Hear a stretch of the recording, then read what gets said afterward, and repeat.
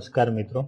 Science city Bhavnagar દ્વારા આયોજિત online education પ્રોગ્રામમાં હું હાર્દિક મકવાણા આપનું હાર્દિક સ્વાગત કરું છું. આજે મિત્રો આપણે ભારતના બંધારણ વિશે માહિતી મેળવીશું જેમાં આપણે ભારતનું બંધારણ અને ભારતના રાષ્ટ્રીય પ્રતીક, રાષ્ટ્રીય ચિહ્ન વગેરે વિશે આગળ વિગતવાર જોઈએ.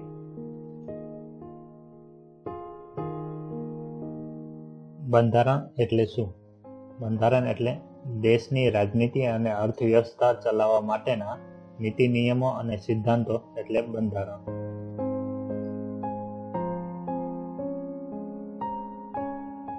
સૌથી પહેલા આપણે બંધારણનો થોડો ઇતિહાસ જોઈશું. સૌપ્રથમ અઢારસો ને પંચાણુંમાં લોકમાન્ય તિલક દ્વારા સ્વરાજ શબ્દને પ્રોત્સાહન કરવામાં આવ્યું મતલબ કે સૌપ્રથમ સ્વરાજ પોતાનું રાજ. કે પોતાના દેશ ઉપર પોતાનો રાજ હોવો જોઈએ. ઓગણીસો પંચાણુંમાં આપણો દેશ ગુલામીમાં હતો. એટલે સૌપ્રથમ લોકમાન્ય તિલકે એવી સ્વરાજ શબ્દને પ્રોત્સાહન આપ્યું હતું કે આપણા દેશ ઉપર આપણું રાજ હોવું જોઈએ. એ પછી ઓગણીસો અને પંદરમાં મહાત્મા ગાંધી ફોરેનથી ભારતમાં આવ્યા. હતા મતલબ કે ઓગણીસો પંદર પહેલા મહાત્મા ગાંધી દક્ષિણ આફ્રિકા ગયા હતા, શેખ અબ્દુલ્લાનું કેસ લડવા માટે. ત્યાંથી ઓગણીસો ને પંદરમાં મહાત્મા ગાંધી ભારત આવ્યું. પછી ઓગણીસો વીસ અને બાવીસમાં અસહકારની ચળવળ ચાલુ કરી. ઓગણીસો બાવીસમાં સ્વતંત્ર બંધારણ ઘડવાનો સૌપ્રથમવાર વિચાર ગાંધીજીને આવ્યો હતો. ઓગણીસો ચોવીસમાં હિન્દ સ્વરાજ પાર્ટીની રચના, ઓગણીસો સત્યાવીસમાં સાયમન કમિશન અને કહેવાય કે બંધારણ ઘડવાનો સૌપ્રથમ પ્રયાસ એટલે કે નહેરુ રિપોર્ટ કહેવાય છે. તો આ નહેરુ રિપોર્ટના અધ્યક્ષ હતા મોતીલાલ નહેરુ.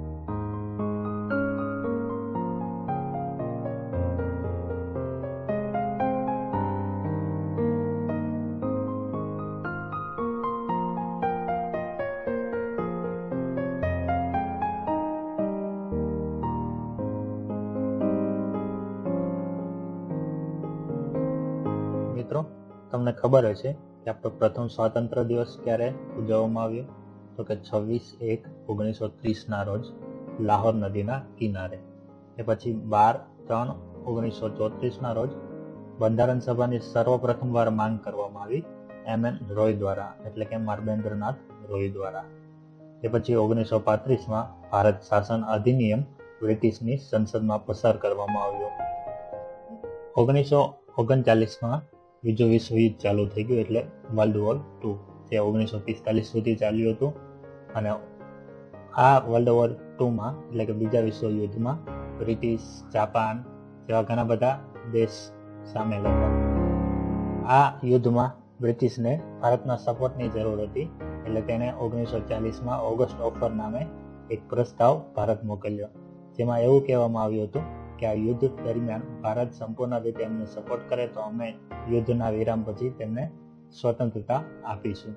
પણ આ ઓફરની દરખાસ્તો આપણા રાજનેતા અને જે પક્ષો હતા તેમને પસંદ ન આવવાથી આ મિશન નિષ્ફળ ગયું. એ પછી ઓગણીસો બેતાલીસમાં ક્રિપ્સ મિશન આવ્યું. એ પણ નિષ્ફળ ગયું અને છેલ્લે આઠ આઠ ઓગણીસો બેતાલીસના રોજ હિંદ ચળવળ ચાલુ કરવામાં આવી. એવું કહેવાય છે કે આપણા સ્વાતંત્ર્ય સંગ્રામની જેટલી બી ચળવળ છે, તેમાંથી સૌથી મોટી ચળવળ હિંદ છોડો ચળવળ છે.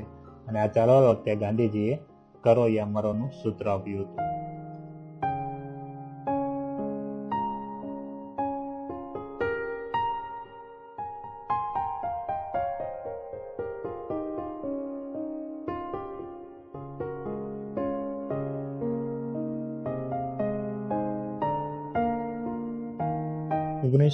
બેતાલીસના સમયમાં બ્રિટનમાં ચૂંટણી ચાલુ થઈ. એમાં લેબર પાર્ટીના વડા ક્લેમટ એટલી સત્તા ઉપર આવ્યા અને તેની સામે પરાજિત પાર્ટી, કન્ઝર્વેટિવ પાર્ટી અને તેના વડા હતા ચર્ચે હવે પછી ઓગણીસો છેતાલીસમાં ભારતમાં એક બીજું મિશન મોકલવામાં આવ્યું, જેનું નામ હતું કેબિનેટ મિશન યોજના. આ યોજનામાં ત્રણ સભ્યો હતા. પેન્થિક પેથિક લોરેન્સ જે અધ્યક્ષ હતા સ્ટેફર ક્રિપ્સ અને એવી એલેક્ઝાન્ડર. આ કેબિનેટ મિશન યોજના અંતર્ગત ભારતને બંધારણ ઘડવાની સ્વતંત્રતા અપાઈ.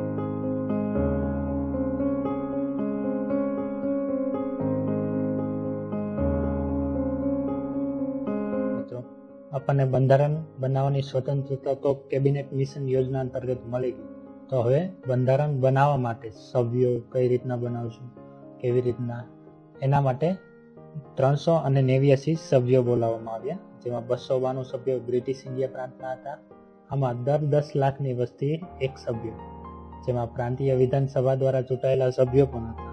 એ પછી ત્રાણું સભ્યો દેશી રજવાડાના બોલાવવામાં અને ચાર સભ્યો કમિશન રેટ પ્રાંતના, જેમાં દિલ્હી, કુર્ગ, અજમેર અને બ્રિટિશ બલોચિસ્તાનમાંથી આ ત્રણસો નેવ્યાસી સભ્યોમાં બાર મહિલાઓ પણ અને એમના ટીમ લીડર હતા હંસા મહેતા, જે એમએસ યુનિવર્સિટીના ચાન્સલર ચાન્સલર પણ રહી ચૂકેલા છે.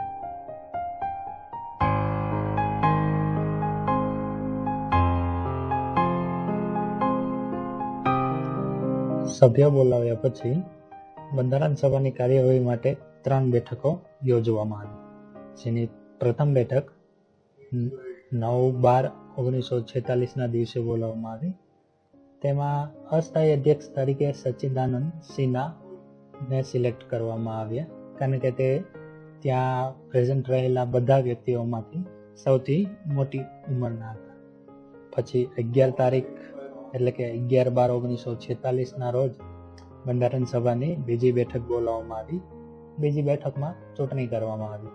આ ચૂંટણીમાં સ્થાયી અધ્યક્ષ તરીકે રાજેન્દ્ર પ્રસાદ, એટલે કે રાજેન્દ્ર પ્રસાદ, ચૂંટાયેલા ઉપાધ્યક્ષ તરીકે એચસી મુખર્જી, હરેન્દ્ર કુમાર મુખર્જી, બંધારણ સભાના સલાહકાર સર બેનેગલ નરસિંહ રાવ એટલે કે બી એન રાવ ને નિયુક્ત કરવામાં આવ્યા.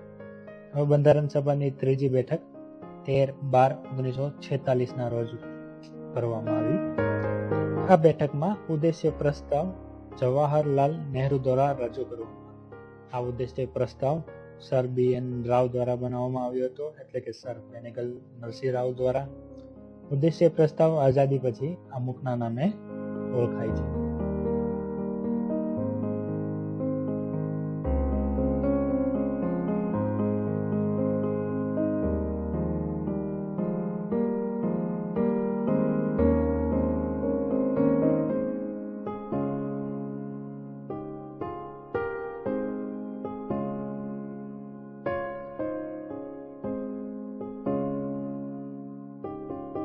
બંધારણ સભાના સભ્યોને ટોટલ બાવીસ સમિતિઓમાં વિભાજિત કરવામાં આવ્યા.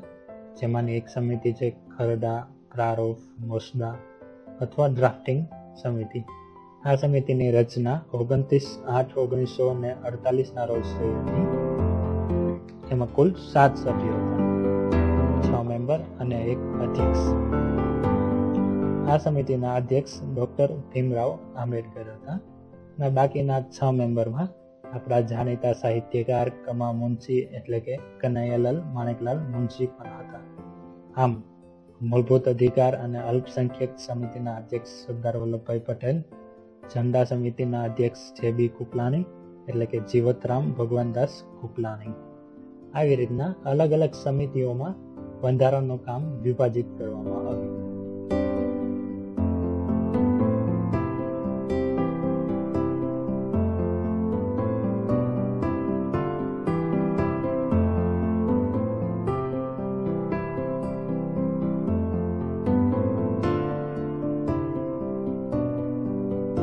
ઘડવા માટે લાગેલો સમયગાળો છે? આપણું બંધારણ ઘડવામાં બે વર્ષ, અગિયાર મહિના અને અઢાર દિવસ જેટલો સમય લાગ્યો. એકસો છાસઠ બેઠકો યોજી, અગિયાર સત્રો બોલાવ્યા, સાઠ દેશના બંધારણ ચકાસ્યા. એકસો ચૌદ દિવસ સુધી ખરડા ઉપર વિચાર વિમર્શ કર્યો અને અંદાજે એટલે કે ત્રેસઠ લાખ છન્નું હજાર સાતસો ને ઓગણત્રીસ રૂપિયાનો ખર્ચ થયો. અને અંદાજે કહીએ તો કે ચોસઠ લાખ રૂપિયાનો જેટલો ખર્ચો બંધારણ બનાવવા માટે થયો.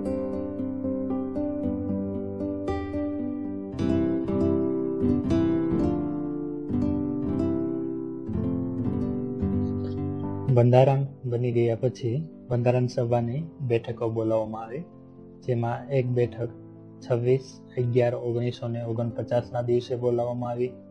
આ દિવસે બસો ચોર્યાસી સભ્યોએ બંધારણ પર હસ્તાક્ષર કર્યા. અને બંધારણ સ્વીકાર્યું અને આ દિવસને બંધારણ દિવસ તરીકે જાહેર કરાય. એ પછી ચોવીસ એક ઓગણીસો પચાસના દિવસે બંધારણ સભાની બેઠક મળી. આ બેઠક બંધારણ સભાની છેલ્લી બેઠક હતી. આ દિવસે રાષ્ટ્રપતિ રાજેન્દ્ર પ્રસાદનો સ્વીકાર થયો અને આપણા રાષ્ટ્રગાનનો સ્વીકાર થયો, એટલે કે જનગણ મન. છવ્વીસ જાન્યુઆરી ઓગણીસો પચાસના દિવસથી બંધારણ અમલમાં આવ્યું અને આ દિવસને આપણે પ્રજાસત્તાક દિવસ તરીકે ઉજવીએ છીએ. અઠ્યાવીસ જાન્યુઆરી ઓગણીસો પચાસના દિવસે દિલ્હી મુકામે સુપ્રીમ કોર્ટની સ્થાપના. આમ મિત્રો, આપણે બંધારણનો ઇતિહાસ જોયો, હવે આપણે બંધારણ વિશે ચર્ચા કરીશું.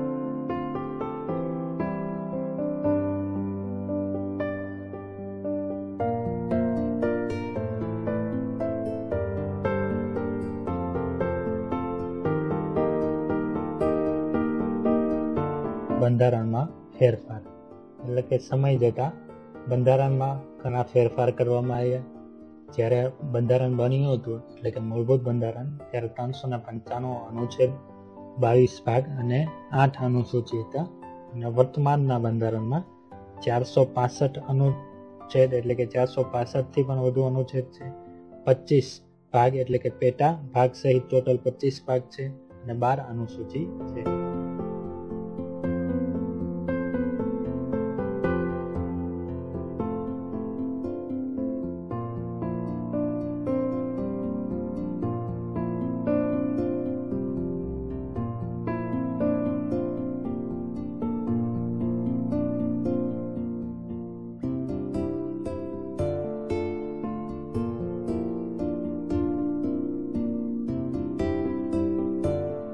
આપણે આગળ જોયું કે વર્તમાન બંધારણમાં બાર અનુસૂચિ છે.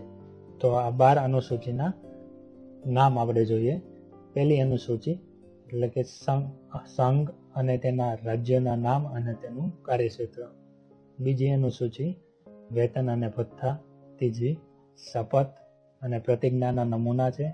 ચોથી અનુસૂચિમાં રાજ્યસભામાં રાજ્યો અને કેન્દ્ર શાસિત પ્રદેશોની બેઠકોની ફાળવણી વિશે જોગવાઈ છે. પાંચમી અનુસૂચિમાં અનુસૂચિત જાતિ અને જનજાતિ વિસ્તારોમાં વહીવટ અને નિયંત્રણ માટેની જોગવાઈઓ. છઠ્ઠી અનુસૂચિમાં આસામ, મેઘાલય, ત્રિપુરા, મિઝોરમ રાજ્યોમાં વહીવટ અને નિયંત્રણ એટલે કે આદિજાતિ વિસ્તારોમાં વહીવટ વહીવટ અને નિયંત્રણ. સાતમી અનુસૂચિમાં રાજ્યો અને કેન્દ્રો સત્તા ફાળવણી. આઠમી અનુસૂચિમાં માન્ય પ્રાદેશિક ભાષાઓ. હાલમાં બાવીસ ભાષાઓ છે.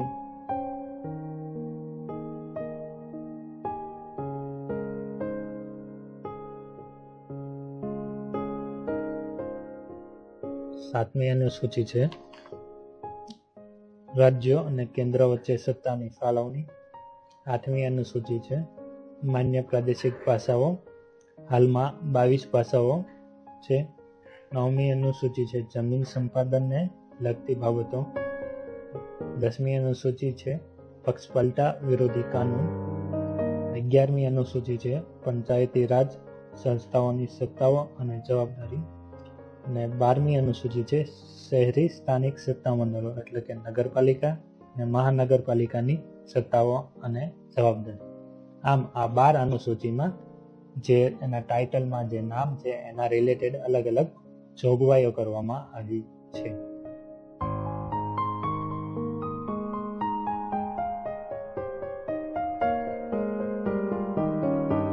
હવે આપણે બંધારણના ભાગ વિશે ભણીશું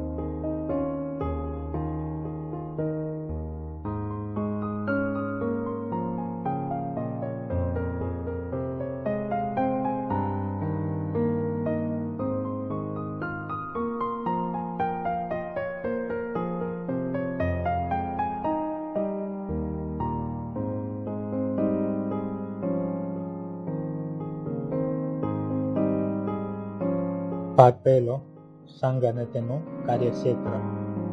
આ ભાગમાં ચાર અનુચ્છેદ છે. અનુચ્છેદને મિત્રો કલમો પણ કહેવાય. અનુચ્છેદ એકમાં ભારત અર્થાત ઇન્ડિયા જે રાજ્યનો બનેલો સંઘ રહેશે, જેમાંથી કોઈ પણ રાજ્ય પોતાની મરજીથી અલગ થઈ શકશે નહીં. મતલબ કે ભારતમાં જેટલા બી રાજ્યો છે, એ ભારત સરકારે બનાવેલા નીતિ નિયમો પ્રમાણે ચાલવું પડશે અને કોઈ પણ રાજ્ય પોતાની મરજીથી સ્વતંત્ર રહી શકશે નહીં.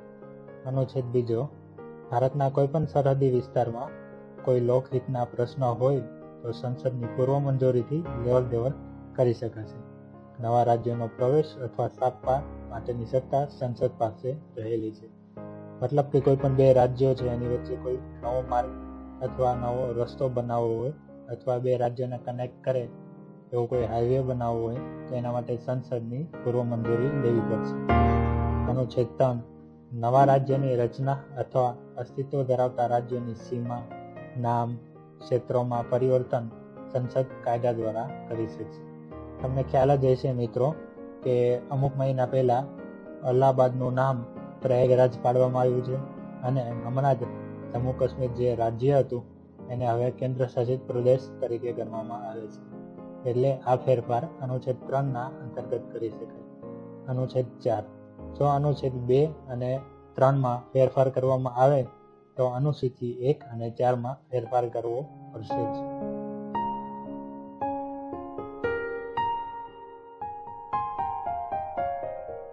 ભાગ બે, નાગરિકતા. આ ભાગમાં અનુચ્છેદ પાંચથી અગિયાર આપેલા છે. અનુચ્છેદ પાંચ. ભારતમાં રહેવાસી હોય કે જેનો જન્મ ભારતમાં થયેલો હોય અથવા તેના માતા પિતાનો જન્મ ભારતમાં થયેલો હોય, અથવા સામાન્ય રીતે પાંચ વર્ષ કે તેથી વધુ સમયથી ભારતમાં નિવાસ કરતા હોય, તેવા વ્યક્તિને ભારતની નાગરિકતા મળી શકે છે. અનુચ્છેદ છ. પાકિસ્તાનમાંથી ભારતમાં સ્થળાંતર થઈ આવેલા લોકોના નાગરિકત્વ અંગેની જોગવાઈ, કે જેના માતા કે પિતા, દાદા કે દાદી માંથી કોઈનો જન્મ અવિભક્ત ભારતમાં થયેલો હોય. તથા ઓગણીસ જુલાઈ ઓગણીસો અડતાલીસ પહેલા ભારતમાં આવેલા હોય, તો તેને સીધે સીધું ભારતનું નાગરિકત્વ મળશે. ઓગણીસ જુલાઈ ઓગણીસો અડતાલીસ પછી અને છવ્વીસ જાન્યુઆરી ઓગણીસો પચાસ પહેલા ભારતમાં આવેલા હોય, તો તેવા વ્યક્તિને છ મહિના ભારતમાં નિવાસ કર્યા પછી ભારતનું નાગરિકત્વ મળશે. છવ્વીસ જાન્યુઆરી ઓગણીસો પચાસ પછી આવેલા લોકોને ઓગણીસો પંચાવનના નાગરિકત્વ ધારા હેઠળ નાગરિકત્વ મળશે.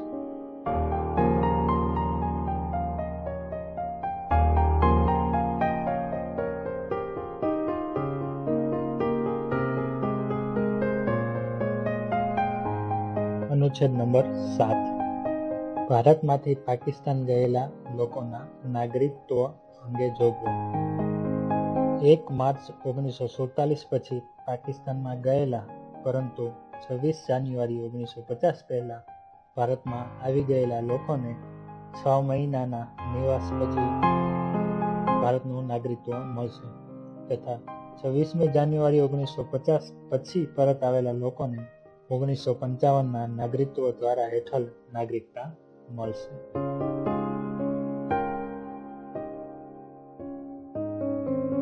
અનુચ્છેદ નંબર આઠ.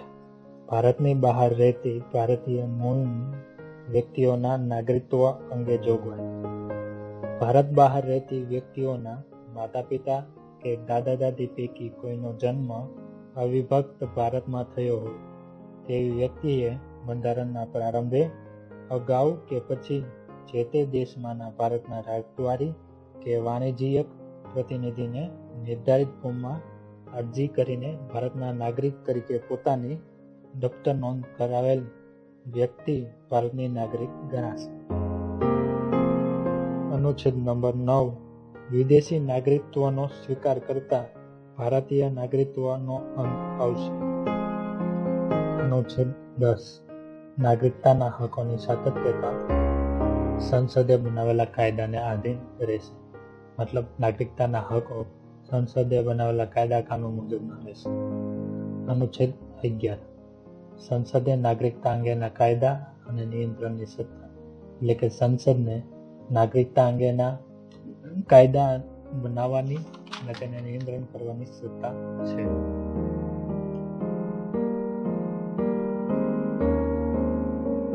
ભાગ ત્રણ, મૂળભૂત અધિકારો. આ ભાગમાં અનુચ્છેદ બારથી પાંત્રીસ આપેલા છે.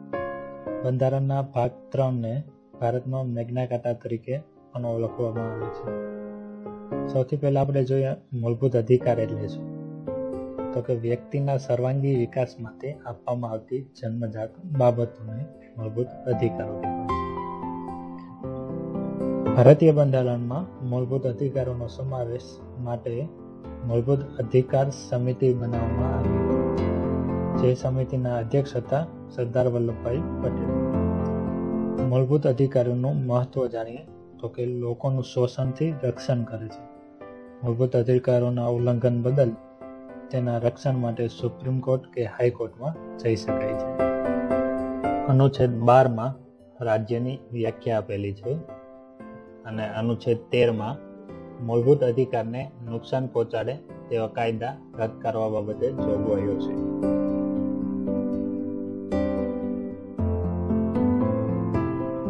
મૂળભૂત અધિકારો સાત છે. પહેલો, સમાનતાનો અધિકાર, અનુચ્છેદ ચૌદથી અઢાર. બીજો, સ્વતંત્રતાનો અધિકાર, અનુચ્છેદ ઓગણીસથી બાવીસ. ત્રીજો, શોષણ વિરોધી અધિકાર, અનુચ્છેદ ત્રેવીસ અને ચોવીસ. ચોથું, ધાર્મિક સ્વતંત્રતાના અધિકાર, અનુચ્છેદ પચીસથી અઠ્યાવીસ. પાંચમું સાંસ્કૃતિક અને શૈક્ષણિક અધિકાર, અનુચ્છેદ ઓગણત્રીસ અને ત્રીસ. છઠ્ઠું, મિલકતનો અધિકાર, અનુચ્છેદ એકત્રીસ. સાતમું, બંધારણીય ઇલાજોનો અધિકાર, અનુચ્છેદ બત્રીસ. આમ, કુલ સાત મૂળભૂત અધિકારો પહેલા હતા, વર્તમાનમાં છ જ મૂળભૂત અધિકારો રહ્યા છે, જેમાં મિલકતનો અધિકાર, અનુચ્છેદ એકત્રીસ રદ કર્યો અને તેને કાનૂની અધિકાર બનાવવામાં આવ્યો છે.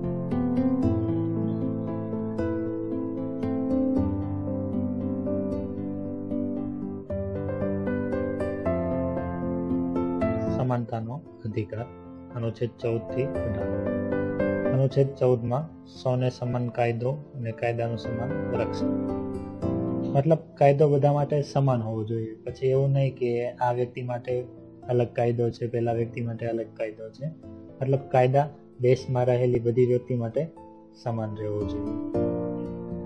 અનુચ્છેદ નંબર પંદર. ધર્મ, જાતિ, લિંગ અને જન્મસ્થાનના આધારે ભેદભાવ પર પ્રતિબંધ.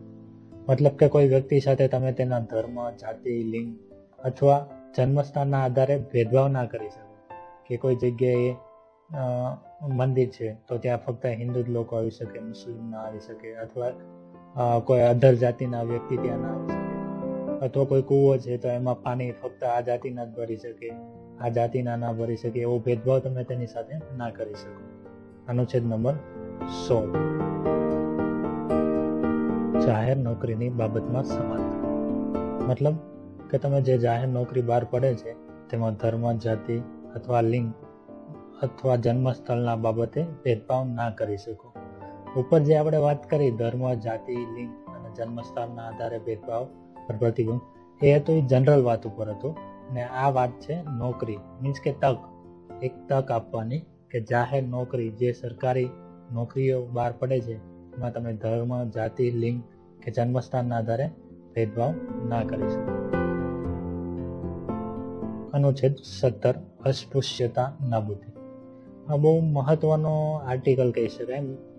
કારણ કે પહેલા ભારતમાં એવું હતું કે આ નીચી જાતિનો છે, આ આ જાતિનો છે, એટલે એને કૂવામાંથી પાણી ના ભરવા દેવાય ને આ અને એક્સેટ્રા બધું ઘણું બધું. તો એની નાબૂદી માટે સ્પેશિયલી આર્ટિકલ નાખવામાં આવ્યો છે કે કોઈ પણ જાતિનો હોય અથવા નીચા વર્ણનો છે કે આ તે, એવું કશું નથી. બધા માણસ છીએ અને એક સમાન છીએ જાતિપાત તો આપણે બનાવેલું છે. ભગવાને આપણને માણસ બનાવ્યા છે. એટલે આ આર્ટિકલ કહેવા માંગે છે કે જે નીચી જાતિ અને ઊંચી જાતિ ને એની નાબૂદી, એટલે કે અસ્પૃશ્યતા, નાબૂદી માટે આ આર્ટિકલ બનાવવામાં આવ્યું છે.